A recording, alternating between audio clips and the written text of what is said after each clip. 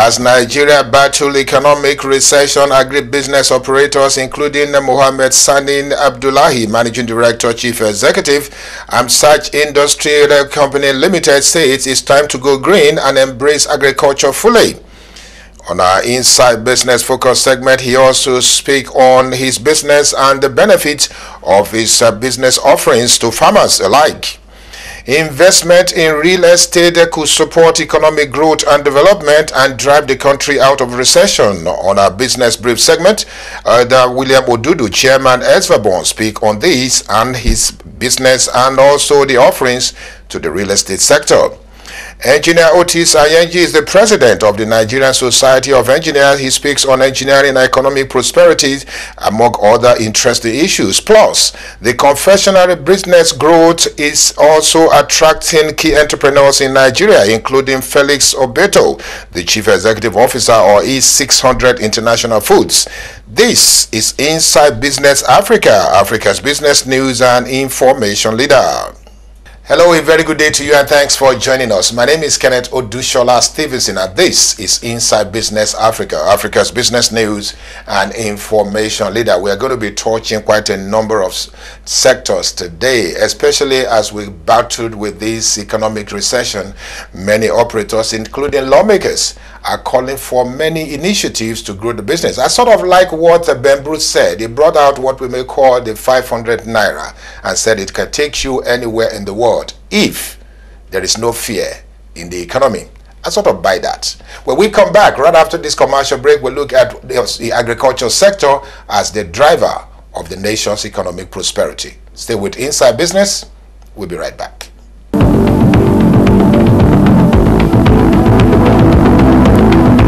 Welcome back. You're still inside Business Africa, Africa's business news and information leader. Thanks for staying with us. Indeed, uh, still to come, we're going to be speaking with a very important personality in this, the managing director of Amsaj Industries Limited. This particular organization is offering some unique products to the agricultural sector. But first, let's take this important report on agriculture and economic prosperity of nations. More or less 70% of Nigeria's population engages in agricultural production at subsistence level. However, much of the Nigerian economy since the discovery of oil is driven by oil. With the advent of oil, agriculture was relegated to the background, and despite this unfortunate situation, the sector remained and accounts for about 42% of the gross domestic product GDP. Following the world food crisis and particularly the worsening food security situation in Africa, heads of states and government of Africa at the summit in Maputo in 2004 decided to provide a strong political support to the Comprehensive Africa Agricultural Development Program, CAADP. Also, greater proportion of the population depend on the agricultural sector for their livelihood and the rural economy is still basically agricultural. The role of the agricultural sector in the overall response of the Nigerian economy to reforms and adjustment policies is very important because given its relatively large size, a large positive response to adjustment policies was expected as a means of improving the overall performance of the economy. Yeah, we are into input fertilizer. Before we are into solid fertilizer but our partner in Europe, this company we are dealing with them is about 100 years established. And uh, because when the insecurity coming to the whole world, not only in Nigeria, and they are thinking to change to, to change a solid fertilizer to liquid fertilizer in form of organic. Well, indeed, that special report on agriculture and economic prosperity, which will continue on Inside Business for quite a long time to come, uh, take us to the next segment of today's edition of the program, which is the focus segment. And we're going to be talking with a very important personality, the managing director of Amsaj Industries Limited. They are offering some unique products to the agri sector. Let me use this opportunity to welcome Mr. Mohammed Sani Abdullahi to Inside Business Africa. Thank you again for joining us on this program for today, sir. Thank you. Let me go very quickly to ask you about your company and what actually attracted you to the agriculture sector in, in, this country. Because over the years, this nation has continued to talk about diversification to agriculture, but nothing really concrete has been done. But this time, we want to believe that the current government will do something about it that we attract, that we also interest and grow your own business. What attracted you to this business? Yes, I start doing the agriculture uh, under one our father is a good merchant in Kano State. He's doing the, they have a tannery. Alaji Babalaila God rest for him and his God bless his whole family. They give us a money, go and buy hide and skin. And during the November, December, they release money, buy granite, cotton, and uh, the sesame seed, gum arabic, which we go to, especially in the, I'm in charge for the, I used to buy my product, I used to buy the product from them from Northeast. So after that, we, I established my company, which is called Amsaj Industrial Company Limited. I carry my own business.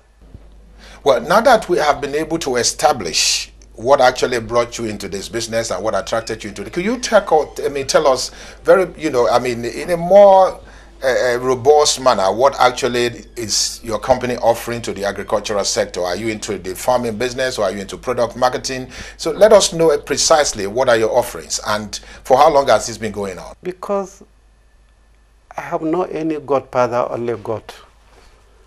And I know what I'm doing. I believe what I'm doing. I know everything you are doing with good heart and clean mind God go help you. Well, indeed, yes. You know, I mean, it's quite interesting to hear you talk about that. But the core aspect of your business, we are quite interested in that. And what is it really doing in terms of driving the growth of the agricultural sector in Nigeria? Uh, tell us, you know, some of the specific products that we believe are so unique to this industry. Yeah, we are into input, fertilizer before we are into solid fertilizer, but our partner in Europe, this company we are dealing with them is about 100 years established. And uh, because when the insecurity coming to the whole world, not only in Nigeria, and they are thinking to change to, to change a solid fertilizer to liquid fertilizer in form of organic, which is more important for human being. So with, I'm a sole distributor for this company in West and East Africa. I mean, there's no way we will not be, you know, talking about agriculture without talking about challenges. Something must have happened that didn't make it to work over the years, but then we still can feed ourselves if we actually get this particular sector right in terms of policy and support. The, the, the product you are actually, you know, uh, uh, offering the sector, do you have any sort of challenges in terms of making it available to farmers? And also, what are the specific products in terms of names and the specific things that it does, especially when you are able to get it to the farmers and what it's going to do in terms of uh, value addition. And the challenge they have, both the security and the government, our followers, security issue is not only government. It's between you and I. Everybody is our own business. So the, the, the, the government and the, the security is just a formality. But in terms of our country in Africa, because of four party, because of there are no some people they are not patriotic, they they doesn't have put their country in their heart because of money. They don't care. They can create all this. So I can assure you, all this with the current administration is going to be a history very soon because the leaders they are doing their very best to make sure people they are crying the economy the government it's not like that if you go to europe the challenge they have in terms of economy it's not easy it's not only in nigeria and don't forget this government they came to, to, to, to, to take so many challenge in terms of security, in terms of price of the, of the crude oil, which is our major resources for, for revenue. And the population, we are more than 200 million people in this country. And also the Minister of Agriculture, also he's a farmer. And he knows all this thing now. So what he need, my, my own advice to him, their level of education in terms of farm, they didn't go to school, they didn't read anything about agriculture. But if professor go and finish his school, he's just knowing in the paper. Yes. But these farmers, they are doing the farming practically like I have said earlier on in my own opening speech as, as, well, I've said that this country has been talking about diversification into agriculture. We have so many farm uh, produce that are wasting all over the places. And also we have farmers who cannot get their produce out of the market. We, we have so many challenges are actually facing this sector. Do you think that the current government of uh, uh, President Muhammadu Buhari could make a difference or in terms of policy changes and also the change we have been promised? Will it be delivered? My own advice to the federal government and the public. First of all, we have to take Nigeria into our heart.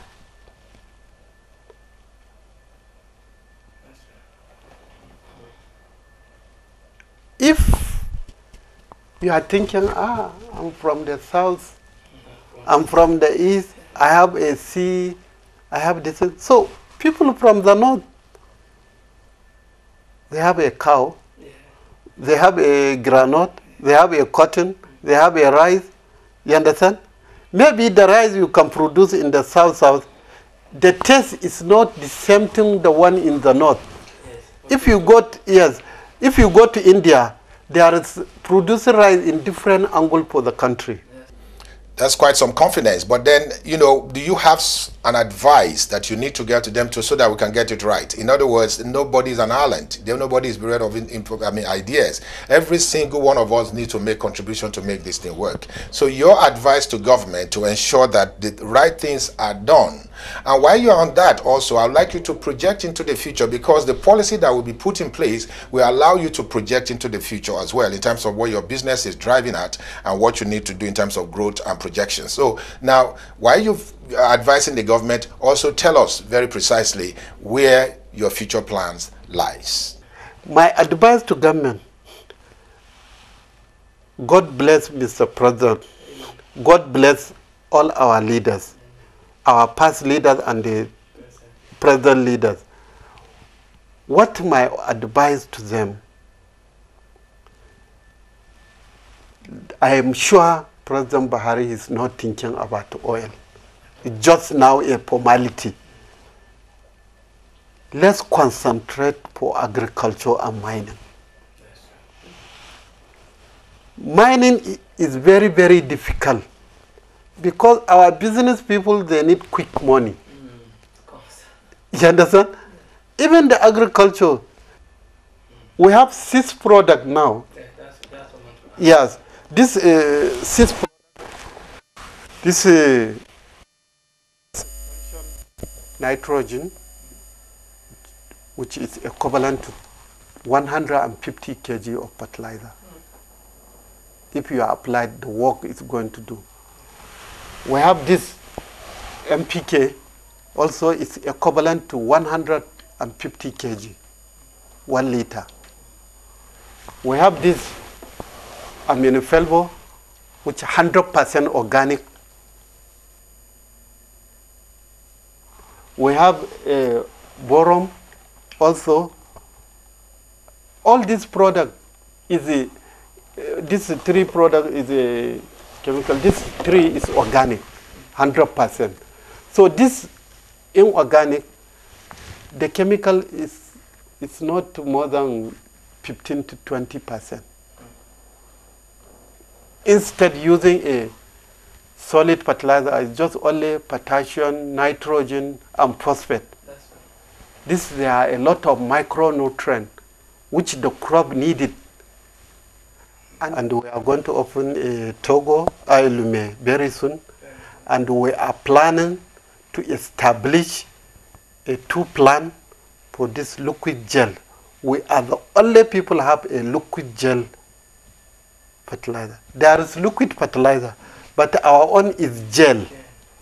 Yes, and we are we are trying to make sure our farmers they are familiar because we are planning to come and establish a plan which most of the raw material 90% we are getting locally here.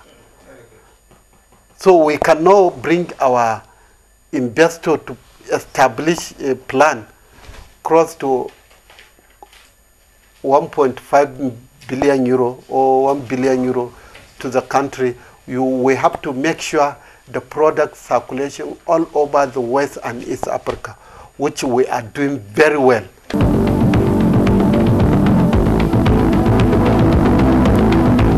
Thank you very much, uh, Muhammad Sani Abdullahi, Managing Director, Chief Executive, AMSAJ Industries Company Limited, for talking with Inside Business Africa, especially on the issue of agriculture and the advice given to government to make sure we get it right this time. Thank Very well, it's still inside Business Africa. We were talking about agriculture. Let's talk about another sector that has been projected to drive the Nigeria's recovery session. Indeed, real estate.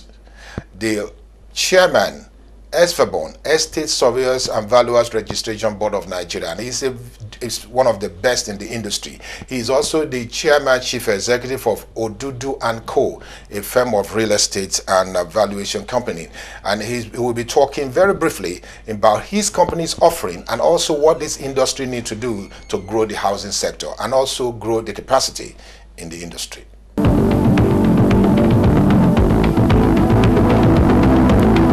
Yeah, I must say, as estate surveyors and valuers will have a very vital role to play in housing. We have a number of our professional colleagues who have gone into development, property development, housing development in various parts of the country. In Lagos, in Abuja, Port Harcourt, Enugu, a number of our professional colleagues, that is estate surveyors and valuers, they've gone into property development. You need to encourage a lot more of them, along with other professionals in the built environment, to assist in this area of housing. Estate surveyors and valuers alone cannot do it.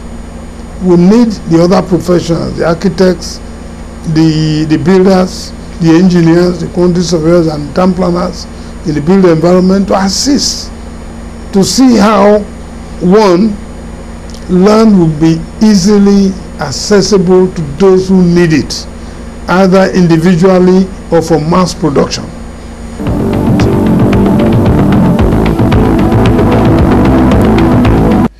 Edda Odudu there talking on our business brief segment and giving advice to government in terms of real estate, how we can drive the Nigerian housing sector, especially now that the government is promising to pump in a, a lot of money into the housing sector and hoping to be able to deliver in, on annual basis about 500 housing units across the country with a very minimal cost, so to speak. We'll talk about that in subsequent edition of the program indeed. But now, let's bring in another professional, the president of the Nigerian Society of Engineers engineers, Engineer Otis Anyaeji, who has been talking to Inside Business previously on uh, some of the key drivers that is needed to drive the nation's economic growth using the process of engineering and economic prosperity.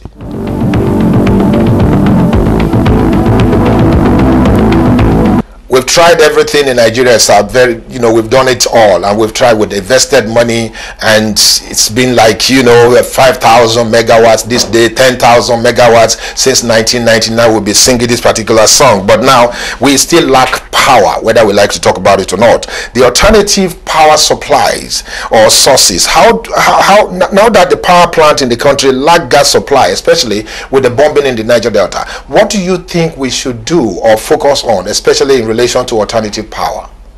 Oh yes, they have to look at other areas, irrespective of whether the, the, the power plants are having gas problem or not. Okay. And I believe they are they are talking about it, you know, diversifying of uh, uh, energy sources to have a mix that uh, will be more than, uh, you know, the hydrocarbon fossil fuels, uh, hydro, more and more of hydro, solar, wind, biomass. Even we could uh, look at, you know, the tidal waves, the energy from the tidal waves. Well, thank you indeed, Engineer Otis Anyaeji, the president of the Nigerian Society of Engineers. Six months ago, we were at your inauguration, and today, six months down the line, we are talking with you on what has happened since the, you know, your assumption of office, and also talk about some other issues on the in the infrastructure sector and the position of indigenous professionals and many others. Thank you very much indeed for sharing your thought with us today. Uh, I'm very happy that we're able to get you to speak with you. As always, we will continue to call, call on you to share your thoughts with us, especially in the on the issue of infrastructure development in Nigeria. Thank you very much indeed.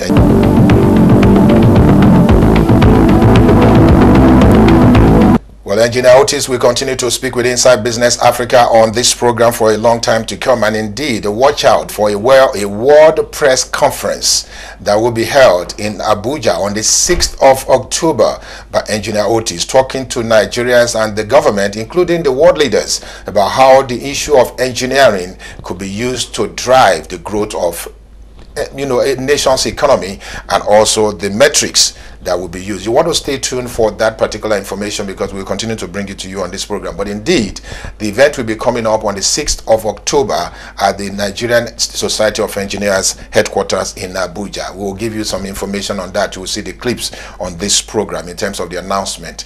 And uh, when we come back right after this commercial break, we'll talk about the confectionery business that is also growing.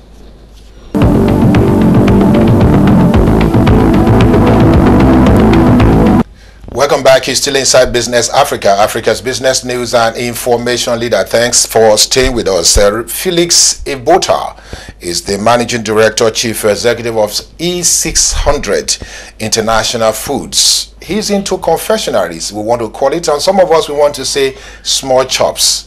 But the growth of this particular sector in Nigeria is unprecedented. And quite a number of entrepreneurs are actually catching in on the growth. Take a listen to what this company has to offer. The growth in the confectionery market in Nigeria has been seen based on an in-depth market analysis with input from industry experts. Reporting on the market landscape and its growth prospect over the coming years, operators believe the market is promising. Um, E600 International Foods is um, a food company that is um, basically into small chops and cocktail drinks.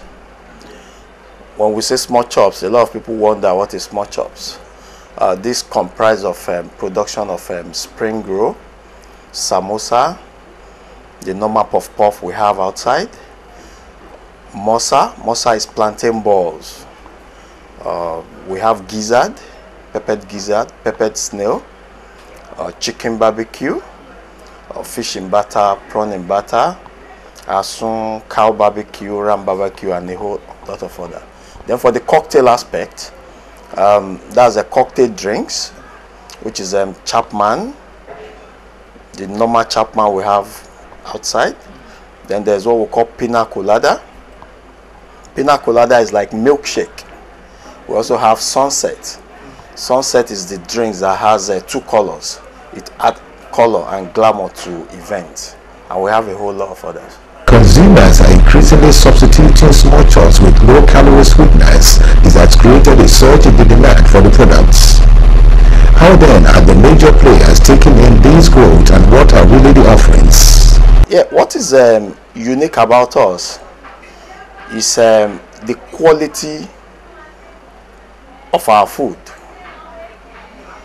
We give people what what is even worth more than what they are paying for.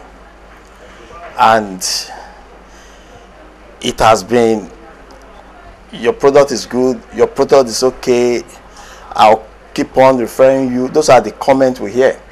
So the quality we give to people is unique about that's the uniqueness about E6. In addition, the increase in the expatriate population in line with the increasing foreign direct investment and the use of expatriate for booming confectionery businesses among others and the growth of modern retail channels such as supermarkets and hypermarkets are key factors driving the quite strong growth of small shops and confectionery business in Nigeria. Well, the industry is a viable industry because um, I could remember before I started the business, I know where I was 10 years ago. I started in um, 2006 to be precise. By December, we'll be celebrating 10th years anniversary of E600 International Foods.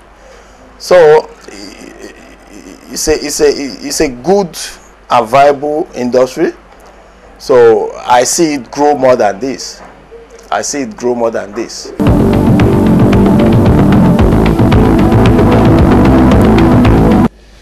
My friend, that's about all we have time for on Inside Business Africa for today. But before I go, the countdown to the 20th edition of the CUD Forum Award has begun. The event will hold on October the 28th at the Sheraton Hotels and Towers in Lagos. And back to back, we'll also be having the Inside Business Commendation Award on the 11th of November. The nomination forms are going out and we are receiving quite an um, unprecedented nomination of key players in these two sectors and indeed in Nigeria. We'll give you some more details about this event as we go on. But if you want to nominate someone, you will have been seeing the scrolling on the screen and also asking you to nominate the key people you believe need to be rewarded for contribution to nation's economy and the Nigerian in general. It's been Kenneth Odushola Stevenson presenting Inside Business Africa. Thank you again for watching. See you next week.